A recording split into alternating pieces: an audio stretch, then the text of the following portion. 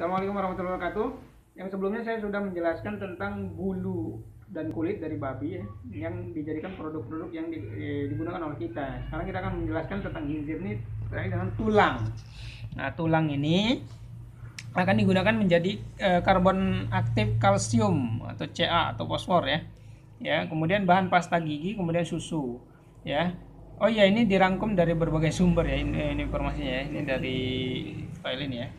Kemudian berikutnya ada emulsifier ya. Jadi ada yogurt, es krim, mentega, ya, cangkang kapsul, jelly, agar-agar, non rumput, kemudian jus margarin dan minuman ya, stabil makanan. Itu dia dari tulang ya. Terima kasih.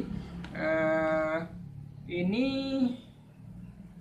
pasta gigi kita ya. Eh, nanti kita jelasin ya tentang pasta gigi. Baik, assalamualaikum warahmatullahi wabarakatuh.